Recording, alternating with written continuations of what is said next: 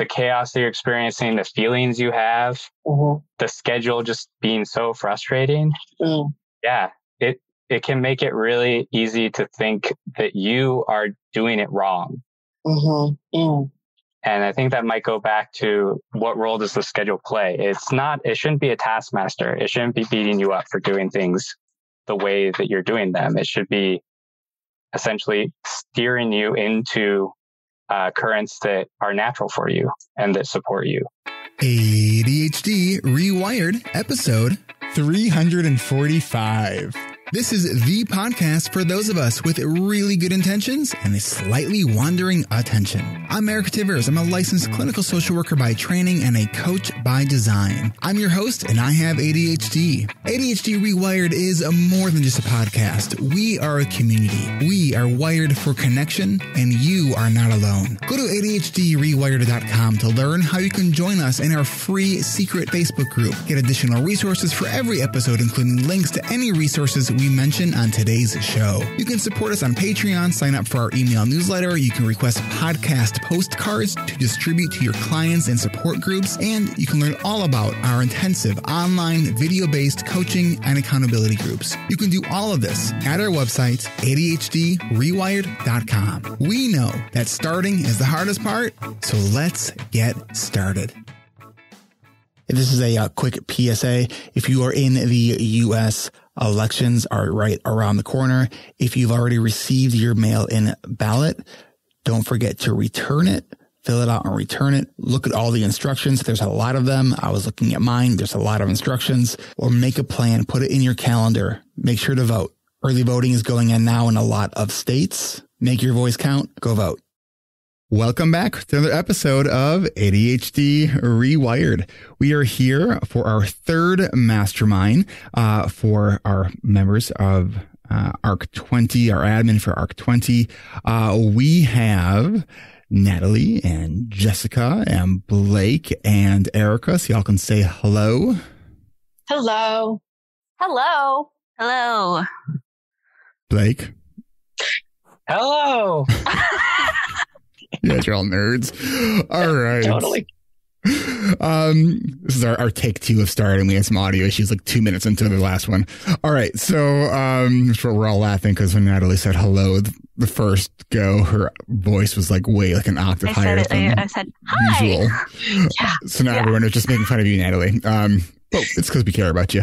All right. So we are here for Erika, who is in the hot seat today.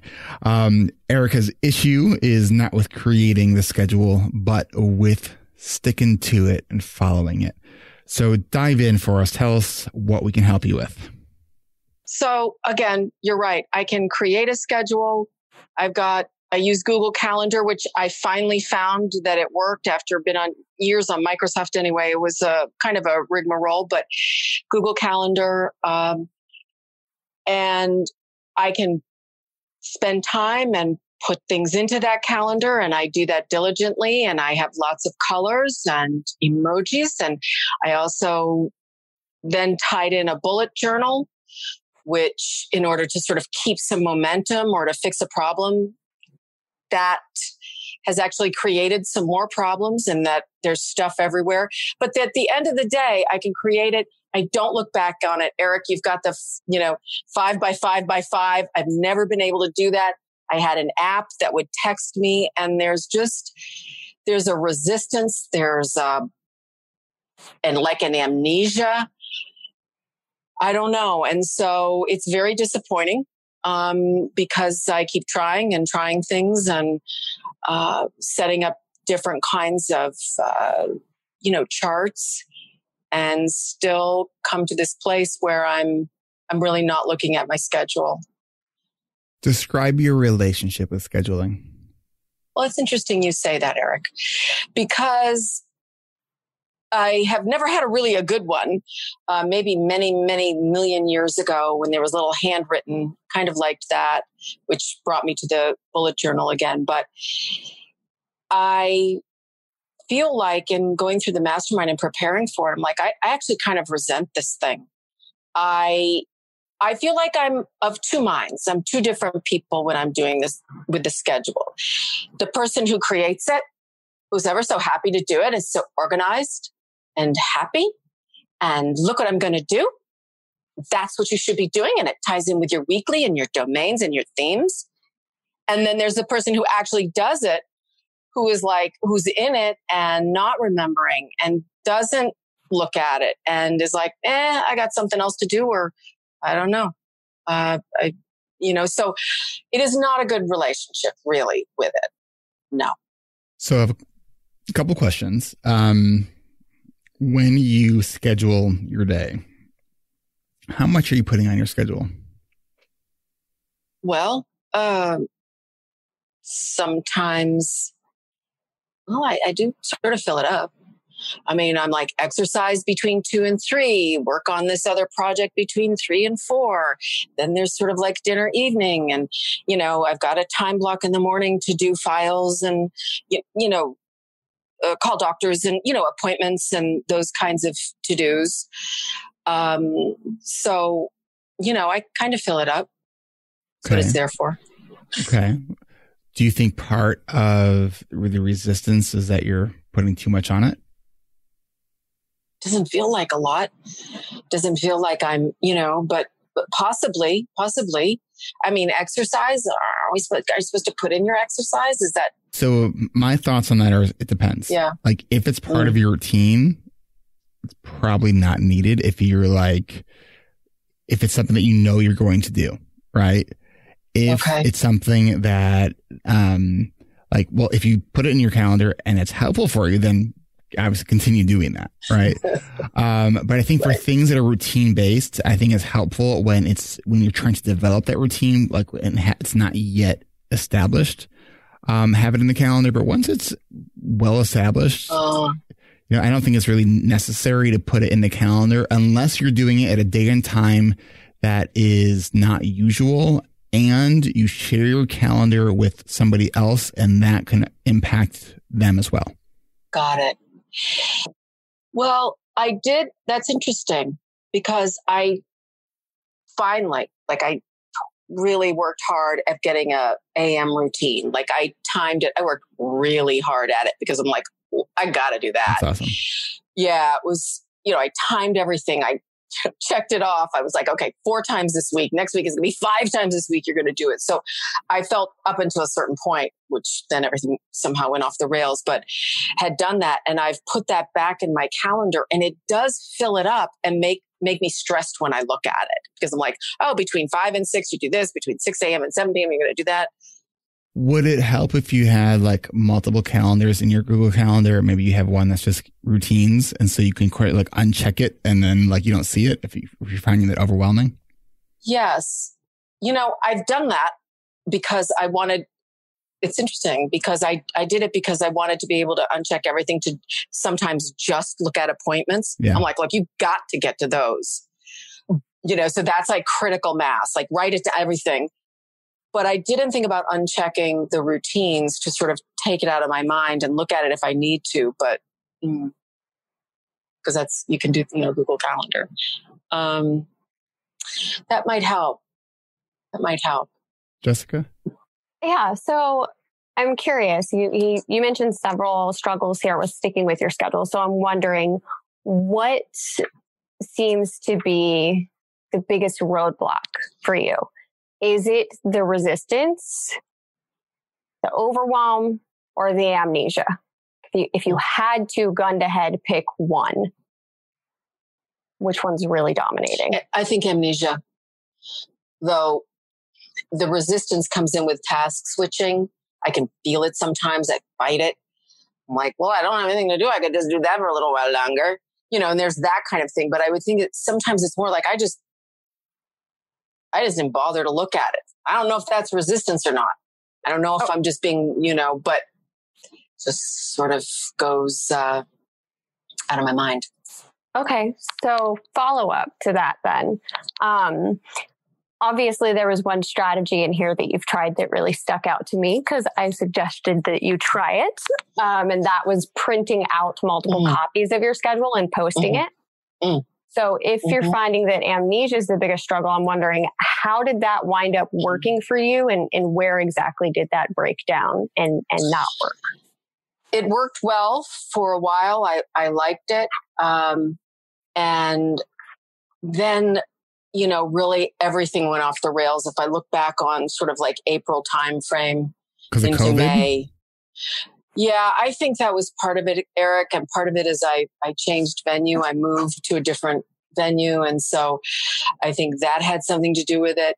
Um, and I think COVID, I got scared and everything seemed to just, I don't know, we all got scared, right? And everything. and all of our routines got messed up and like we are when when the structures in our lives like change and are out of Yeah. our control like that can wreak havoc on our lives you know especially when, with adhd like it is because we are so environmentally cued and so much Yeah. of our routine like you know like when when right at the start of it when um school got canceled like that you know the the the routine of me dropping my son off at school like made my exercise routine completely vanish for like a good like four or five weeks right and my routine i would say it was a pretty well established routine like it's not something that i felt any resistance towards um so I guess recognizing and having some self compassion for that. Okay, like we are in a pandemic that seems to not Right. be ending because we have a bunch of idiots as leaders um, who are making this problem worse.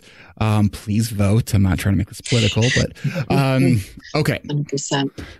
So yeah, so there are these things outside of our control, but let's recognize that for what it is, and then say, all right, so what can we do about this? Yes, you're you're right. And I think I didn't even recognize that they were kind of it was like it's like slowly gaining weight. I didn't even recognize that bit by bit the routines were being eroded till all of a sudden I just didn't have any anymore. Or I wasn't looking at it at all, or just the appointments. And so sort of that whole thing I had been building towards did did kind of did kind of disappear. And I when I was in it, that's part of the amnesia too, is I'm like, I oh yeah, I had a routine. I'm looking at it today. I'm going, oh yeah, that's right. I was doing really well. Um, so it's even knowing when you're experiencing it, when you're in the middle of it.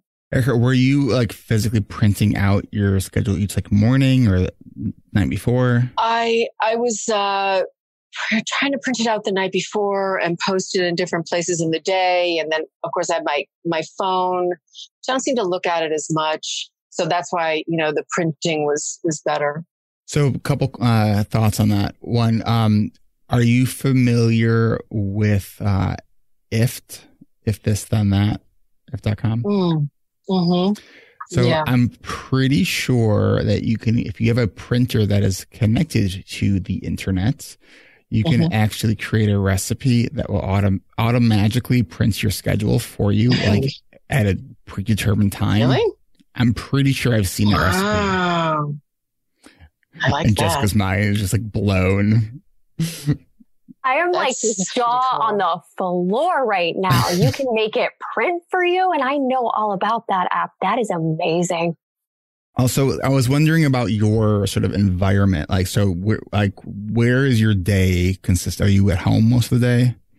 Yes, Okay. I am. Tell me what kinds of technology you have available to you. Do you have an iPad? Do you have an I do. Apple TV? Um, I have I have an iPad, I have an iPhone, I have PC monitor. I don't know about I don't know about Apple TV. okay. I mean, Okay. Cause I was thinking like, is it possible Yeah. for you to like, um, airplay your, uh, like your calendar and just keep it on your TV. So anytime you're walking past your TV, you're, be cool. you have your calendar right there. Yeah, that's that's interesting. Right. Right. And even things like, you know, how do you use a computer? Do you keep everything open and then walk away from it? And then whatever, when you come back, with everything just still there as you left it? Or do you close stuff down? I kind of I close stuff down. I do. Okay. Um That's impressive. Um, so what is your, when you open up your, your, um, what do you use? Chrome? yes. What's your homepage when you open that up? Um it's just all of my, you know, all of my um, apps and stuff, all of my programs. It's nothing. What if you change that to be your calendar when you open it? You go to right to Google Calendar. You can do that. Mm-hmm. I'm writing that down. Really? That would be that would be interesting. There are also plugins that you can put your calendar on your desktop. Okay. Right. So make it as apparent as make it everywhere. Yes. Do you have any of the um, personal assistants like Alexa or? Uh, I've been looking at the Google Assistant more recently. Um, I've got, you know, doing a couple of things there. Um, and I do have my schedule emailed to me in the morning. So I'll get an email um, where that, you know, so that kind of reminds me. I don't have a habit of like just looking at the um, at the assistant or running that up or looking at it frequently. Okay. Um, on your calendar events, what is your default settings for reminders? I think at one point I might have turned everything off because it was annoying. well, because I was like, I can't stand it. Stop. Okay. Shut up. Uh, and you know, Um, and that's good though. It's like because because you, want to find out like what is the just that that the Goldilocks Right. effect, right? Like what's the right Yeah. amount? Like you don't want too many, you don't want not enough. Right. Right. Um, so I, I have started sort of wanting to have them more in the morning because I've just, instead of doing these individual things for my morning routine, I've said, okay, between like 5 a.m. and 8 30, here's, you know, I would like some reminders within there. So at least I would get an audio to say, okay, now's the time to like switch to this, you know, now it's time to switch to that. But do I, in Google Calendar, do I, when I put a reminder in, does it have to be associated with an event? Do I have to use those reminders? Because the reminders clog up the screen, if that makes sense. Blake, you want to respond to that? So when it comes to using Google Calendar, there's a bunch of great strategies with balancing both the events that you create and setting up reminders. Yeah. Personally, I like to focus on any noise or notification explicitly coming from events in a very specific way. Um, and reminders are kind of uh, ad hoc or like band aid solution for other situations. You can set the default uh, notification settings for events so that when you create them, they already have uh, alarms set up. For me, I have every event, whenever it's created, it will trigger uh, my phone to go off 10 minutes before and then And that's at the time of customizable. the event. And that's within Google. Right. I mean, you can make it like you, you can have it set up to be remind me at the time of the event and five minutes before and 10 minutes Yes. before. And, you know, so like, so you can create as many of those as you want to. So you're leaving, yeah, you're leaving the noise factor to actual events hardcore, not, you know, sort of like it's lunchtime. Maybe that's an event for you, but, you know, because it starts to lose effectiveness, I feel. Like I'm hearing all this shit. Yeah. It's, it's satiation to, to the, to the cue. Yeah. right. I Right. try to make sure that every event that I schedule, I recognize that if there's an alarm that's going to go off, it's only going to go off and be effective if I can respond to it. The worst thing that happens is when I've decided to schedule a bunch of things back to back, even if there's transition time and one alarm after another will just kind of go off and I'll just ignore it. I might just Mhm. skip everything Right. so a lot of times the alarms that are actually effective are ones that go off that trigger a really significant context switch. For example, I have um, an event for exercise and usually I'll get out and exercise before it goes off. Mm. But it's at a p- point in the day where if that alarm goes off, I'll remember I haven't actually done this and it, it, it breaks that momentum of whatever else I'm doing so I can transition. So speaking of uh, alarms and context switching, we need to context switch to a break and we will be right back. nice. Support for ADHD Rewired comes from ADHD Rewired Coaching Community, which includes our coaching and accountability groups and our alumni membership community. I hope you are enjoying this podcast. This mastermind session is something you will do when you join the ADHD Rewired coaching groups. Go to coachingrewired.com to learn more about our intense coaching groups. How do you plan? Do you feel a sense of accomplishment? There is a way to dive into your life with ADHD and try things a different way. The next coaching season starts in January. So if you are interested in our intense online coaching groups that meet three times a week for 10 weeks, go to coachingrewired.com and click on the red button to add your name to the winter interest list. This way you will get all the information for signing up for our next coaching sessions. If you thrive in a team setting, then ADHD Rewired's coaching and accountability groups might be just the kind of coaching you are looking for. After the 10 weeks, you can join our alumni community for continued support. Go to coachingrewired.com to learn more, then click on the big red button at the top of the page to add your name to our winter interest list. So whether you're brand new to the podcast and interested in coaching, or you've been thinking about joining these groups for a while, take that first step.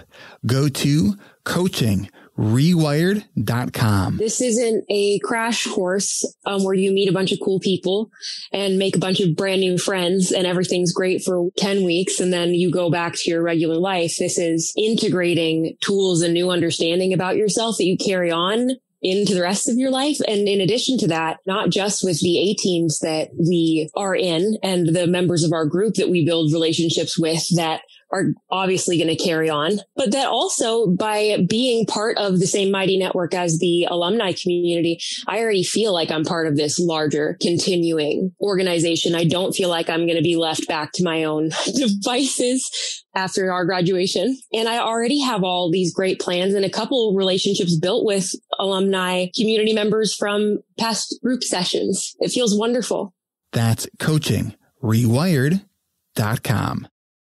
Hey, if you are new to this podcast, I want to welcome you. I also want you to know that we have two other podcasts on the ADHD Rewired Podcast Network. We have Hacking Your ADHD with Will Curb and ADHD Essentials with Brendan Mahan. This week on Hacking Your ADHD, Will is continuing his series on giving yourself some slack. This week's focus is self-compassion. Join Will as he explores ways that you can work with your ADHD brain to do more of the things that you want to do. Check out the latest episode that dropped yesterday. These episodes are short. They're about 15 minutes long. Go to hackingyouradhd.com for show notes and to subscribe or subscribe right now on your podcast player that you're listening to this on. And every Friday, check out ADHD Essentials with Brendan Mahan. Brendan's podcast is a lot like this one with a focus on families, parents, and educators. And stay tuned in coming weeks and uh, up to the end of the year. We're going to be introducing two new podcasters to you.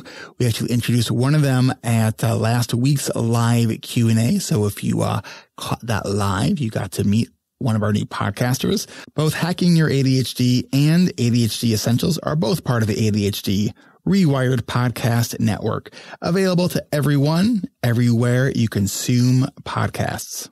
And you can join me and the host of both of those podcasts, Hacking Your ADHD and ADHD Essentials, every second Tuesday of the month. And if you caught this last week's podcast or last week's live Q&A, which will be airing next month, then you got to meet one of our new podcasters who's going to be joining the network with a new podcast starting in January. So next month on November 10th at 1.30 p.m. Eastern, you can have an opportunity to meet both of our new podcasters who are going to be launching podcasts in January.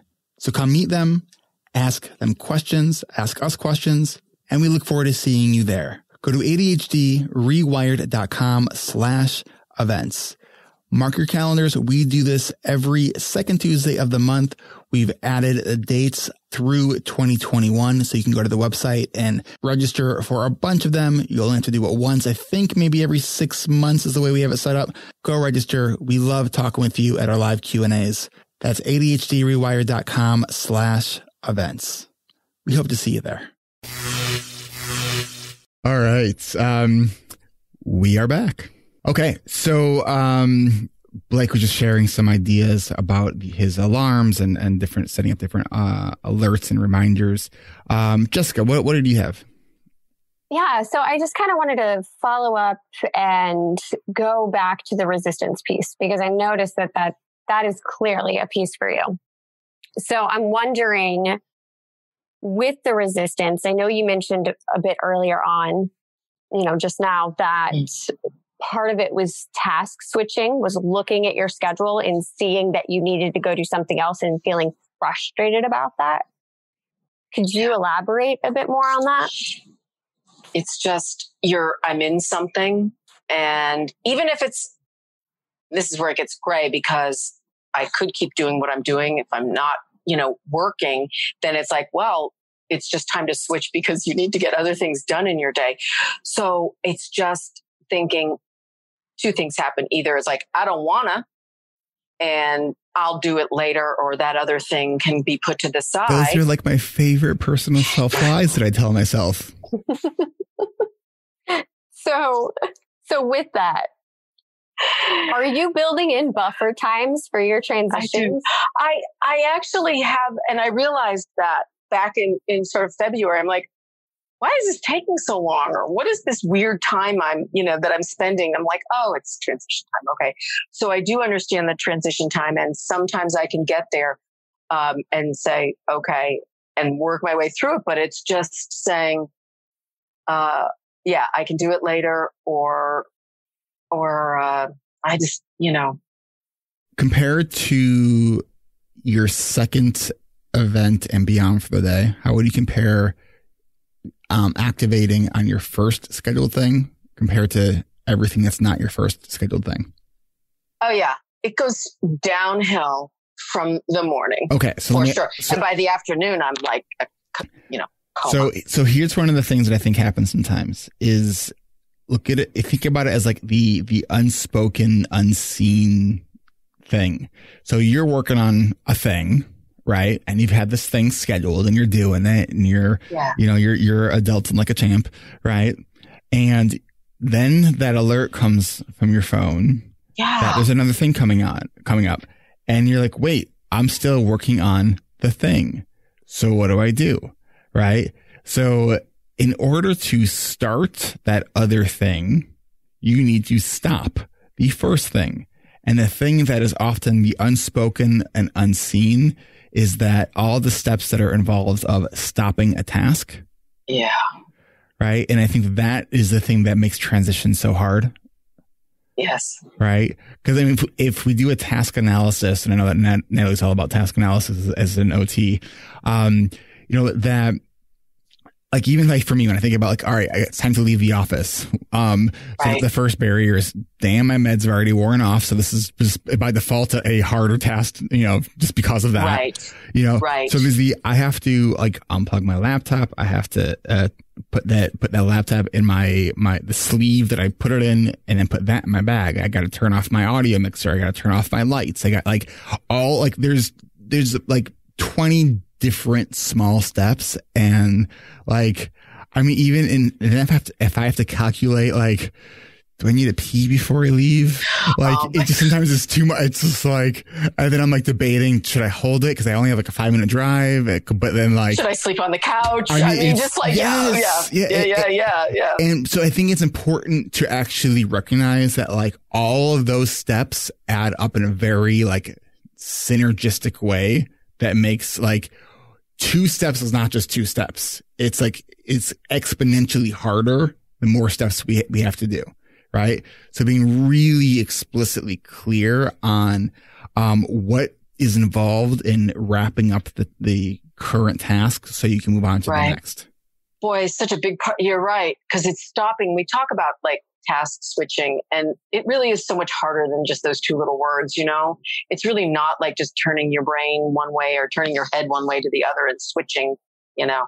It's yes. like, oh, it's hard. And it, and, and part of your brain's like, what the fuck are you doing this for? Just keep on doing what you're doing. Right. You're doing great. And because we're not sure of like how to, if we're not going to finish it at that moment. So instead of like yes. actually wrapping it up in an organized way, we just leave it out open on our desk, thinking that that would be sure. a great cue to help us come back to it later. And then, you know, then we realize, holy crap, like, where's my desk go? Is, that, is this the thing that's, un- that's holding up all these papers? Um, yeah. Yeah. Yeah. And then it gets, then you start to feel badly about what everything looks like. Yeah. And so, you know, kind of it's on. Blake? I just want to kind of affirm the perspective you have on this chaos in adhering to your schedule. Mm. Because I think that is a word that you can attribute all of these things Eric has described to if you're trying to move from one thing to another and all of these different things are happening. Yeah, it's a really chaotic environment and that is a really hard situation to adhere to a schedule in. Right. Yeah. And yet it's true. So it is chaos. So it's sort of like leading into the chaos and expecting it. I think part of this feels like, you know, we get a lot of shoulds. We should all over ourselves. I should be able to do this. How hard can it be? And yet our brains don't really want us to do that. And they want us to do something else altogether.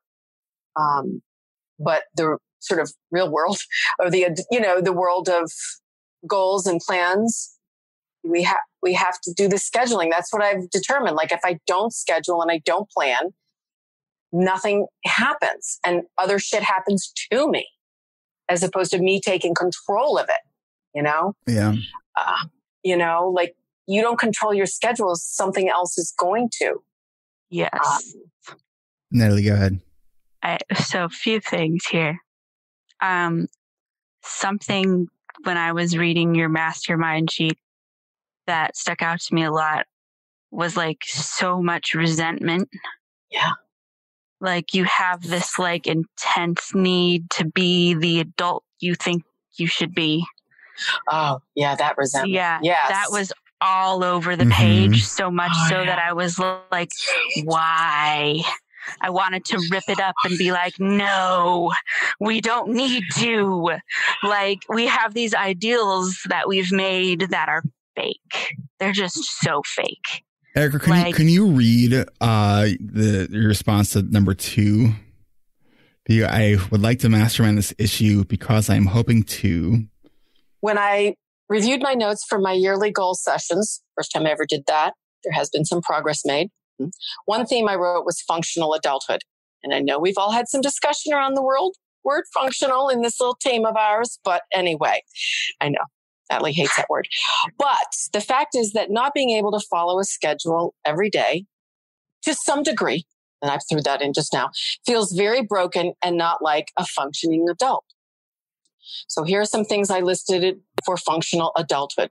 Knows and keeps to schedule. plans ahead. Plans time with friends. You kill me, Natalie. Why is that problem? Makes time for fun activities. Then other things you want me to keep going? Does not do things that would hurt one's body. Now, these have to do with schedule, takes care of health, understands and participates in home finances. These seem very basic to me. Follows through on commitments and projects. And there are several more as this was a theme for the year. Um, but the ones that I highlighted in there uh, pertain to schedule and plans. Now, Natalie, I ask you, why does that seem so crazy? They themselves aren't crazy. It's that your goal for the year was to become a functioning adult that encompassed literally all of those things. Oh, there's more too. Yeah, right. You said you said there are some you didn't even put there. I'm oh, like, yeah. like, okay, so like, I think that this idea that we have of a functioning adult is too much like perfectionism, and not like an mm. actual like person who functions. Like if you were to do all those things you had listed, you would not be a functioning adult. You would be a computer. Like, yeah. like, not all the things, but what about the things that are highlighted? So, all right. So just the things that are highlighted then. Now let's talk about the things that you highlighted, right? You very specifically like wanted to complete these things every time. You know what? Something ADHD people can't do? Complete something every time. We will never do that ever. Like, yeah, I, I'm feeling you, Natalie. There, I did write down as I was looking at this that perfectionism is the is the child of shame, and so I do feel that there is.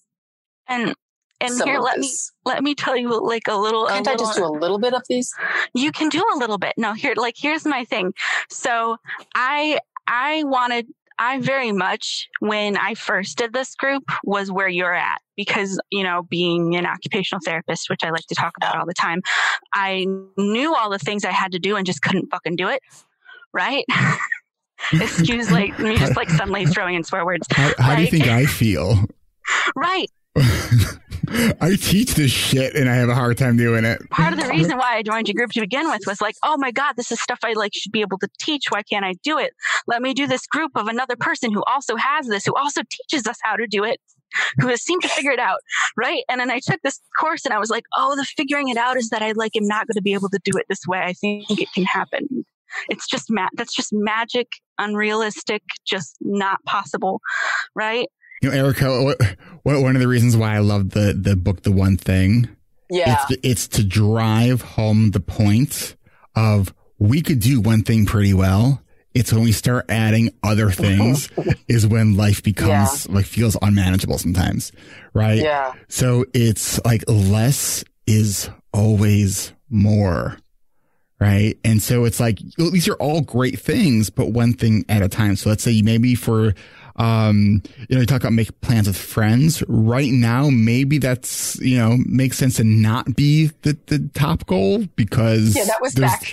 I wrote that down a long time ago. Yeah, exactly. There's, there's a pandemic going on right. and that just makes things challenging. So, Yeah. you know, um, so thinking about all right, what i you know, and so looking at when we look at domains in life, right? Looking at what are and pr- truly prioritize what is the most important for you right now for the next couple months, right? And so once you get the thing that is the most important, like so you can have things that Okay. like number two, number three, and those are fine to have those. But then when you're trying to figure out in your day, what am I doing? You ask yourself, what did I say, you know, a couple months ago was my number one priority. And then so that becomes the thing you schedule first that day. Okay. Yeah. Okay. This is interesting because I get, I get what you're saying. And I think that I've been not scheduling to what I want to do. And I think that's why I don't want to follow it because I'm like, I don't, who, who the fuck made this schedule? I don't like, I don't like her. I'm a, I'm There's gonna get somebody else's that- schedule. There's, there's a little bit of that. uh, It's like what I, there's a lot of shoulds and, you know, and so eh, maybe that's turn it around, you know? I see what you're saying. So my other thing that I was gonna say is that like we we schedule all these things that we want to get done because we wish we didn't have to do them anymore, not because we actually want to do them. Right. And to an extent, we are adults and we have a bunch of things that we like need to do, right? Right. But don't want to do. And so, well, like, we'll have to do it eventually. But like, we have a max capacity as people to the amount of those things that we can do in a day.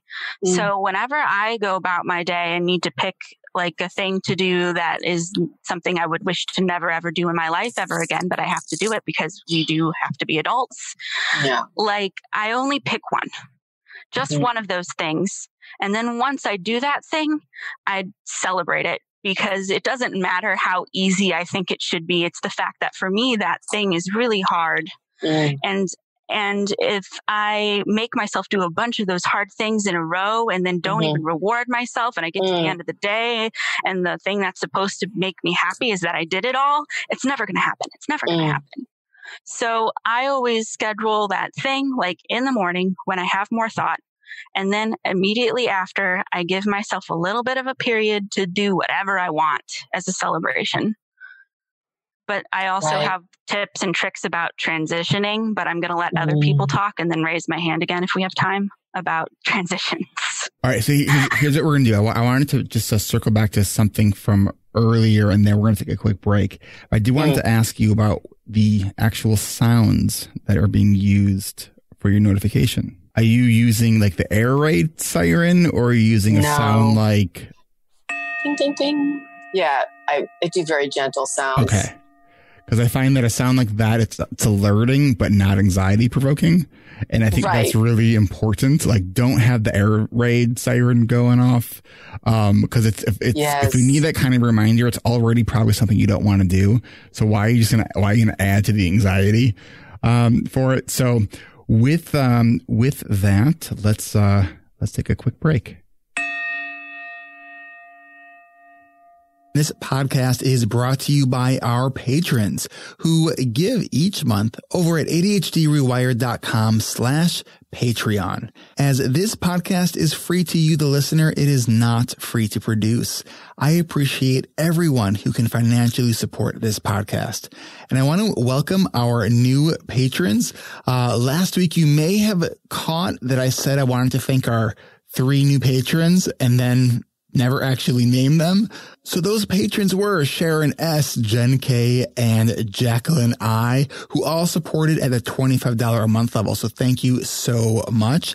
And this week we have a new patron. It's Viral D at the $10 a month level. Thank you for all of your support.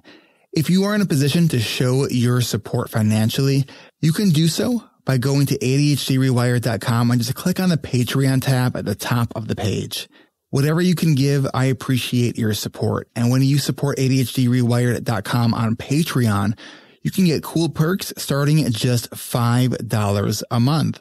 Like last week, I posted extra content after our live Q&A was over. I continued to answer questions and those were posted on Patreon.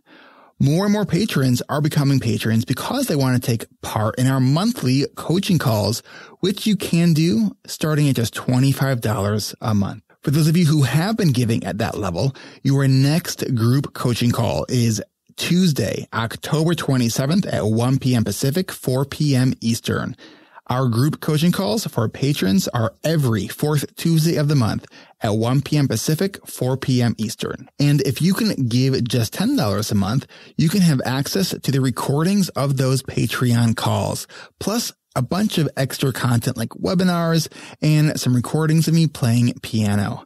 Plus, if you would like to get ad free episodes for just $5 a month, let us know by voting on our Patreon page at ADHDrewired.com slash Patreon. We haven't pulled the trigger on that yet. We're waiting for a little bit more feedback, but this is something if you love the podcast, but don't love the ads and you're like, I just want to hear the podcast and not the ads, become a patron, but go vote so we know that's something you would actually be interested in supporting financially.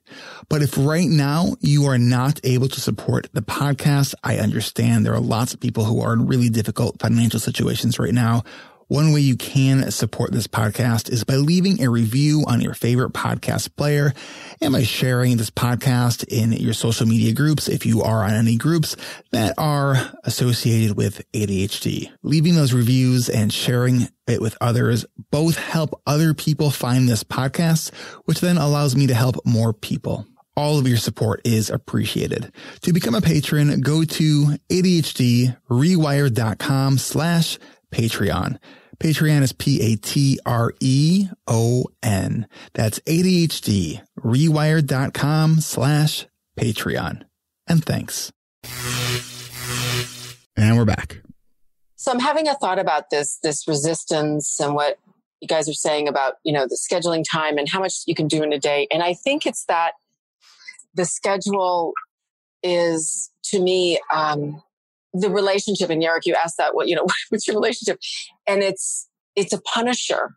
It's not a partner, you know, like, and it does get into a little bit of like, well, you know, you know, should you scheduling in fun and that doesn't seem very productive and all that, that, there's a little bit of that going on too but the schedule definitely seems like to schedule in you're going to read for an hour does seem like not the schedule's job you know, Eric, I'm wondering if the the, the framework of in, in relationships when you have someone yeah. who's more like dom and somebody who's more submissive, um, right? Like you want to be the dominant one here and let the calendar be the submissive one, right? It doesn't work very well the other way.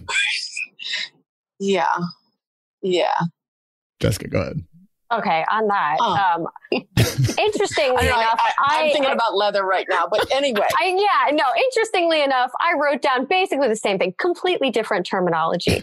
Um, but it's I'm really seeing I'm seeing clarity and kind of almost a two part pattern here, and it's becoming pretty obvious, at least to me, why if I were in your shoes I would totally avoid my schedule too. So thing one, going back to, you know, what Natalie said, that part where you wrote down, I highlighted the heck out of that myself.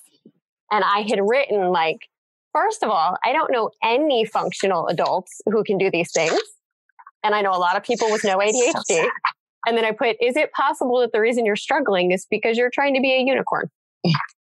Second piece, I put, can you look at your schedule as a guide or an assistant rather than a rigid dictator?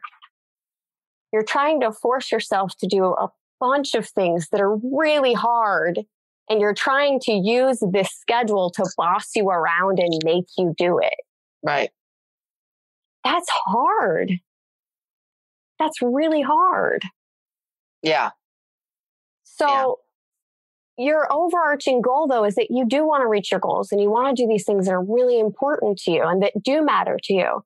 So mm-hmm. how can you sit down with your calendar and say, you know, calendar, you've been a real jerk.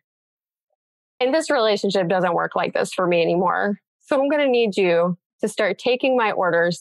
And then at some point in the day, if you're being a bit too pushy, I'm going to ask you to move that later on and talk to me a bit nicer. Then maybe we can get some stuff done. Yeah. I, I'm I'm with you. I'm feeling that. I really am. I I think you're right. I think I think I just it's the way I'm viewing it, not as an assistant, not as a guidepost, but as uh, I have to do. Like think about it as it's your GPS, and if you want to take a detour, like you can. Like you just have to yeah. reroute yourself, right? I mean, when I when I time block uh, tasks like that I'm, that I'm working on, um, if I happen to not get to it at that time, I just move it. Like right, like there's no story in my head about oh I didn't get to it at my like I just move it. Didn't happen then. Okay, got to move it. And if I keep doing yeah. it, then I'll, then it's a different conversation that I have with myself. Yes. Okay. Like what's going on? Is it not important, or what are you avoiding? right. Thing. Like is it is it more awful than I even think it is? so uh, I'd like to circle back to my little. Yeah. No, you're right. To my little things that I highlighted. Okay. And I want to ask each and every one of you, you're saying that all of those things, there's nobody who does that, nobody with ADHD or nobody neurotypical. No, I, well, I think that doing all of those things consistently. Okay. It's hard. Like, I am, I would say when it comes to work stuff, I'm pretty good at like yeah. doing the things that I intend on doing. And I say, when I say pretty good, 80%. Like, it's, pretty, it's pretty good. Like, and, and last few weeks, I, have not been at 80%. Let's just get that real, make that clear. um, when it comes to home stuff, oh man, I am not like, I'm at like maybe generously 35%, right? Right. Um, and even so, I, I've, so I have to get a, a tree trimmer, right? Mm-hmm. and so what I realize is that like I it's it's like funny when I like recognize the things that I teach others like I'm not doing myself, right? Yeah. And it's like, oh, like I actually didn't have the first task. Like I need to like go on Yelp or on Nextdoor and get recommendations and then get quotes. Like I like I jumped to the like I needed tree trimming. Like who am I? Call- I don't know who I'm calling. Like no wonder why it's been on this for so long, right? Right. So stuff like that. And and I had I don't have that in my calendar. I actually have that on a, a little like a, a eight by thirteen dry erase thing that's on the side of the fridge. Yeah, yeah, yeah. Because I got you got to think right. about where are you going to be seeing this thing in the context. Yes. All right, so that's that's about what how okay. I use it. Um, I do right. I do add in my calendar just like if I want to call somebody like a friend or a family member, um, I will yeah. add that to my calendar because I'm pretty good about like because I'll just sliver in like 15 minutes call. And, Just do that. Yeah, I'm yeah. pretty good about that. Cause then also the, the iPhone, if you, if it's, if you sees call so and so, the reminder pops up and it actually there's a button there that says like, ask if you want to call that person, you just push the phone button and it calls. It's about as easy as it can get. Wow. That is beautiful. The schedule can be your friend. It can be. It can be. Blake, what about you? So asking the question about knows and keeps to a schedule, plans ahead, plans time with friends, makes times for fun activities, follows through on commitments and projects. The way you asked us this question, it actually reminds me of uh, another question you asked uh, and and what you wrote up, where you ask, "How do you feel about following your schedule?" Mm-hmm. And I think it that stuck out to me because I personally have a lot of feelings. I, I swim through them every day. And when it comes to how do I how do I feel about my schedule, I, I look at all these things and I'm like, yeah, I don't do those things as much as I want to. And a lot of times I can feel kind of bad about that. A lot of times I'm just confused and I don't know why it's not working. But what I do know is that more often than not, my feelings will define really if, if I start believing them, I'm just going to start seeing uh, myself as not a functional adult. Mm. Um, I think prescribing some definition to what it means to be functional, uh, what it means to be adult, it puts you in this this fun zone where you can start to you know, when things aren't going right, compare yourself to something that is impossible. Um, mm-hmm. I don't think it's impossible to not, I don't think it's impossible to do these things regularly. And I don't think it's impossible to do what you wrote out somewhere else. Uh, I wrote this down. Um, I went, I went diving trying to find like, okay, what, where is that hopeful vision that she's writing about? Because mm. it clearly is not being a functional adult. And somewhere you wrote you want a happier life. Mm. Like you can have that mm. and you can have that without doing all of these things all the time. Mm. Mm-hmm. These are tools that will help you get there, but definitely the chaos that you're experiencing, the feelings you have, mm-hmm. the schedule just being so frustrating. Mm. Yeah, it, it can make it really easy to think that you are doing it wrong Mm-hmm. Mm. And I think that might go back to what role does the schedule play? It's not, it shouldn't be a taskmaster. It shouldn't be beating you up for doing things the way that you're doing them. It should be essentially steering you into uh, currents that are natural for you and that support you. Yeah. Yeah. Mic drop. Dang. Yeah. All of you. God, this is good. Like that was, that was really nice. Um, I was also, you know, Blake, when you posed that, that question about the feelings from the calendar, um, something that, that I was just reflected on was that, you know, for me, it's generally pretty neutral, but when it's not, it's really like a litmus test for my self care. Like if I'm like, if I feel resistance, if I'm like, all the things, I don't want to do any of them, right? Like that, like, then I'm not taking care of myself right? So either my sleep is, is not well, I'm not exercising, I'm not managing stress, right? I'm not having enough fun, right? All, all of those things are the things that where I, or I find that the I don't want wannas become like everything, right? But gen, like, but on a good day, my calendar is, it's, it's, a, it's a neutral tool. Right. That makes sense. So I know that uh, Eric, you wanted to hear from Jessica and Natalie too about this, this question about how you do schedules, and then we'll wrap this one up. Yeah. Um, wow. I'm still kind of processing what you just said, Eric, about the the litmus test and yeah. Blake got like chills all over my body. Like we're up in church right now or something. Um, yeah. So feelings about the calendar. Um, I vacillate, to be honest. Um, probably slightly different when it comes to me because I have comorbid OCD. So there are times when me having a really structured schedule is actually an indicator that I am not healthy in the moment. And that is my way of coping with it. Um, so I, I vacillate. There's times when I get all the things done on the calendar and I feel amazing. And there's times when I look at the calendar and I realize that I've put things on the calendar because of unhealthy reasons so that I can check things off of the calendar so that I can feel good about it. In which case I look at the calendar and go, I'm not doing those things and I feel good about it. And then there's times that I get it all done and I feel bad about it and times that I don't get it all done and I feel bad about it. And, and that's why I think for me, just looking at all of these things and saying that doing all of those things consistently is functional adulthood, then I've never met one.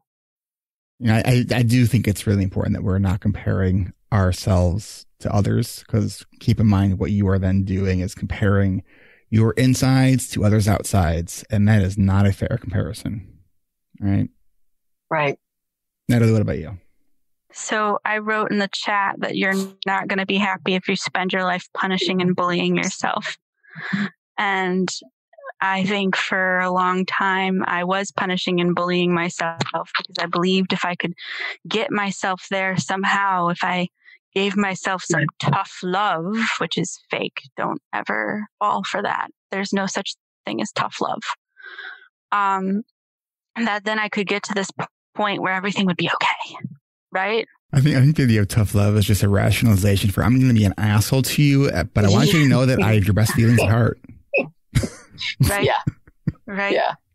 Like sometimes we need to hear things that we don't want to hear, but we don't need those things to be said in a mean way. Right. Right.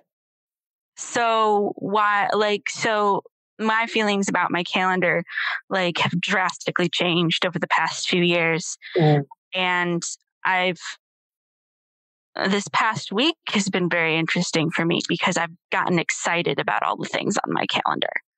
Right? And that's because of my mastermind where now I'm Right. doing all these things I really want to do all of a sudden, right? Right. And Right. now that I'm doing all these things that I really want to do, these things that I don't want to do are easier. Yeah. Right. And like I've had this thing on my like to-do list for weeks to to like um to to email people and talk to people about my RV insurance that I need to change. And suddenly it's not hard and I feel capable. Because it's connected And to a bigger purpose. It's because it's Mhm. connected to yeah, it's because it's connected to a bigger purpose, and because I'm doing all these things now that I want to be doing, and I'm succeeding at them because I want to do them. Like, and then today I had to go to work, work unexpectedly, not on my business, and I had some things I wanted to get done between this and when I got back from work, and I didn't do any of it.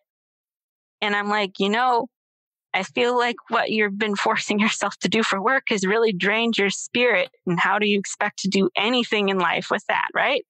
So, and then you realize it's not your relationship to the tool. It's not your relationship Yeah. to the calendar. It's your relationship to what you're doing, That's what you're doing. what you're literally doing. hmm Your energy level around Yes. life as a whole. Right. And so, Right. oh, yeah, a lot of the time I do feel really neutral about my tools. And I think it's Mhm. because I've finally started looking at them like tools Right. and not like things that rule over me, but like it, it, what's in your calendar. That's Yeah. what the purpose is. And that's where the feeling comes. Yes.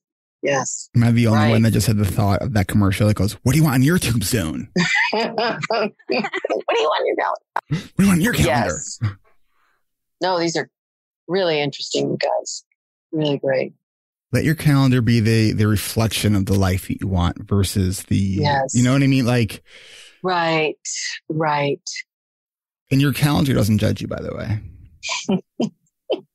Doesn't give a shit what you do, to be honest. I mean it's right. It's it's there It's it's there for you. Use it how you want to. Yeah, it really is a larger a larger thing about taking the time, spending time on what you want, still doing the adult things that you need to do, that we have to do, you know, and making sure those get done. Be careful though about I mean, yes, I think we should take care of our responsibilities and then do the fun stuff. Right. But don't think you have to do all of the responsibilities before you can do any fun stuff. And that's so me too. Yeah. Right? Like, yes, do do the do a responsible thing and then do a fun thing. Like, Right. I think the worst thing that happened to me growing up was my parents telling me I couldn't do anything fun until my my homework was done. Yeah. Because now we have this idea that we can't do anything fun until we get everything done. And now that we're adults, we're never going to get everything done. Damn it, Ned, I just had this like very visceral like response to you saying that, and I'm sure like probably every listener just did too. Yeah. Like, Like, oh God. Right. You have to get all though. that done first. I had this memory the other day about when I was in fourth grade and sitting trying to get my math homework done. And instead of doing that math homework, I sat all the way until dinner time carving something underneath my windowsill in my room. And I'm just like, wow, how didn't we figure out I had ADHD? and it's because I would sit in my room and not leave until I got my homework done. And then that worked. What are your takeaways from this? Oh, yeah, I have so many. You guys are amazing. And I'm just so happy um, that you're the team that I'm talking to this with about. Um, my takeaways are that I'm going to look at my calendar in a different way, and uh, I may I may write a little note, a little letter to my to my calendar, just like we do with Dear ADHD. I love that. Yeah, and just maybe you know, and think about that a little bit more, and um, and look at and see what's really on there, and what am I trying to follow, and the you know kind of why of this, and what are the things that not just the things that are kind of the things I want to fix about myself. you know, I guess, you know, there's so much of that in yearly goals. Like, I'm going to fix that, you know, but there's things I actually want to do and put those and put those into my schedule too. I, um, I love the idea of the letter and I just, I wanted yeah. to, I wanted to, um, uh, suggest a variant possibly of that. Yeah. First, can you bring to mind someone who embodies kindness, warmness, and compassion. Okay. Now put that personality in your calendar and write a letter Aww. from your calendar who has that personality to you. Oh, good one. Wow. Okay. That's that's awesome. I'm going to do that. That could be a game changer there. Mm. I love that. And I'm also going to just think more about sort of the stopping when I am doing something and, and getting on to the next thing and, um, and understanding that that's hard for us and that I think we've all said so many things that as Natalie said, like to celebrate the things we, I do do and note that it doesn't have to be like everything done in one day or this week or whatever. Um, and, uh, and look at that resistance, um, you know, about, you know, the whole, the whole basis of this, this resistance to this because, because it hasn't really been a tool. It's just, it's just been a mirror of shame. So, okay. If, uh, if shame comes up as a requested calendar event, you can decline. I will decline it. I will not. Nope. I will not. Yes. Nope. I will decline it. Thank All you. All right. So, Eric, I hope this was helpful for you. So um, helpful. And we'll be uh, probably back next week with our last mastermind, I think. Yes, our fourth mastermind. Mm-hmm. Awesome. All right. We hope that everyone found this helpful. And uh, yeah, and that's um that's all we wrote. That's all we wrote. Thanks, guys. This is Eric Tivers. Thank you for listening and congratulations for making it to the end. ADHD Rewired is more than just a podcast. We are a community focused on learning, growing, and connection. The website is ADHDrewired.com. You can find summaries and additional resources for each episode. You can apply to our free and secret Facebook community. You can learn more about ADHD Rewired's intensive online video based coaching and accountability groups and sign up for my email email newsletter to get exclusive content you won't get anywhere else. It's all at ADHDrewired.com. While you're there, click the Patreon button. If you're a regular listener and you're still listening to my voice, consider making a monthly contribution by becoming a patron through our Patreon page. If you are able to financially support my work, it would mean a lot. This show is free to listeners, but it is not free to produce. And patrons get really cool perks. You can follow me on Twitter at Eric Tivers. You can like our Facebook page at facebook.com slash ADHD Rewired. If you're a coach, therapist, or related professional, connect with me on LinkedIn at linkedin.com slash Eric Tivers. You can also subscribe to ADHD Rewired on YouTube And you can subscribe to ADHD Rewired on YouTube and see select interviews and some other videos I've posted. Podcasts change lives. You can make a difference in someone's life by spreading the word about this podcast. Mention it in your online communities on Facebook, Twitter, Reddit, or wherever you hang out online. And be sure to share it with your friends and your family and your clients, as well as your coaches, therapists, and doctors. And if you're a coach, therapist, doctor, or ADHD support group leader, and you would like a pack of podcast postcards to hand out, you can request those at my website, ADHDrewired.com. And if you're a member of CHADD or any other ADHD support group, please be sure to tell them about this podcast.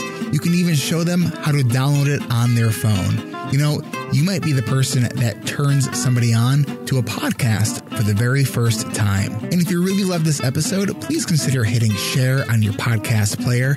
I'm only one person, and I count on you to help me spread the message. One of the biggest things that you can do to support this podcast and to help other people discover it is to leave an honest rating and review on Apple Podcasts, uh, Stitcher, or any other podcast app that accepts ratings and reviews. And don't forget to hit subscribe on this podcast on your podcast app so new episodes are automatically pushed to your favorite podcast app. Looking for more ways to listen and learn? Get a free audiobook and a 30-day free trial at audibletrial.com slash ADHD rewired. Not sure where to start?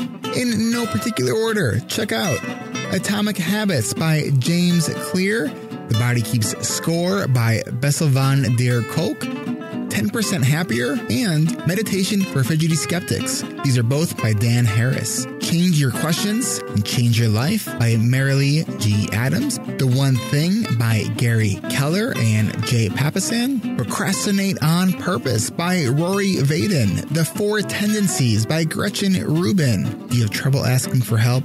Listen to The Art of Asking by Amanda Palmer. It's one of the best produced audiobooks I've ever heard. If you're looking for something a little bit more, say, magical, I unexpectedly fell in love with the Harry Potter series. And I don't usually listen to those kinds of books, and I loved it. And of course, if you haven't yet boarded the Brene Brown bus yet, check out Brene Brown's books, starting with The Gifts of Imperfection, Daring Greatly, Rising Strong, The Power of Vulnerability, and if you're an entrepreneur or leader in any capacity, check out her 2018 book, Dare to Lead. And Brene still is my most wanted guest, so if you know Brene, and you would be so kind to make that connection for me, I would be really, really grateful. You know who else I would like to have on the show? You. Click the podcast tab at ADHDrewired.com and then click the Be a Guest button at the top of that page and schedule a 15 minute pre interview. This is Eric Tivers, reminding you to keep learning, keep growing, and keep connecting. Self care is not selfish, and no matter what gets done or doesn't get done, at the end of the day, you are still enough. And no matter how hard it feels, we can do hard things. Thanks for listening. I'll catch you next week.